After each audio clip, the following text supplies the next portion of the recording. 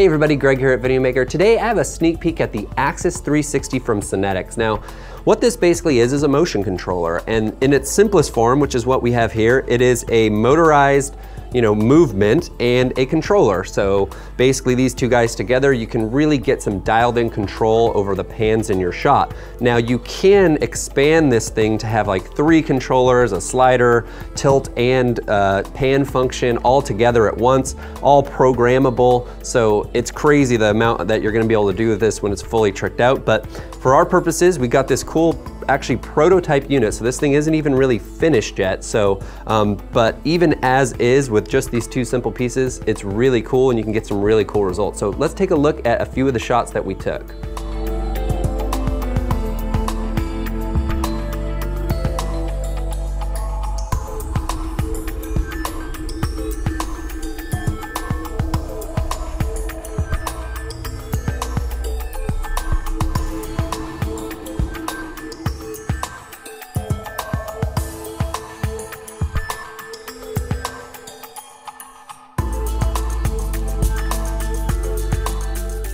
So as you can see, this thing can take an ordinary time-lapse shot and add that motion to it, and it's real precise, and it just looks killer. So um, I really enjoyed playing around with it, and I should note, you know, I'm no time-lapse expert, and what I really loved about this is I've always felt like time-lapse should be more simple than it is, and this actually makes it pretty simple. There's a couple different modes. They have a video mode, so that's designed more for if you just wanna set it at a speed and get a constant pan, or if you wanna set a start and an end point, you just basically start it, you set the speed, you hit play, and it'll do the move for you.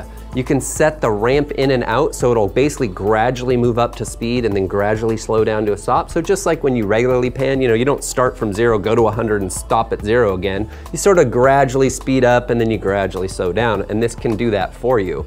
Um, it also has um, a time-lapse mode and in time-lapse mode, it basically has a move, stop, move function. So what it does is it takes the photo, it moves the motor, takes the photo, moves the motor, takes the photo, etc., etc., so that you can get some really great time-lapse shots. Now, um, if you go to their Kickstarter page, you can see some more examples, ones that are you know far better than the ones that we shot you know just out and about for a couple hours here.